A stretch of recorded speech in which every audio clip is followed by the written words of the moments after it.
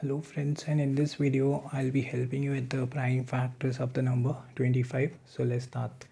So first of all we need to write the number like this. The next thing we need to know about is what are prime number. So prime numbers are numbers that are divisible by 1 and the number itself like 2, 3, 5, 7 and so on. Alright. So we'll check with the lowest prime number we have that is 2. Is the number 25 divisible by 2? No it is not because number is odd. So we'll check with the next lowest prime number that is 3. 3 it's a 24 one left with 3 also not divisible. Let's check with 5. The last digit is 5 so it is divisible by 5 so divide it and we'll be having 5.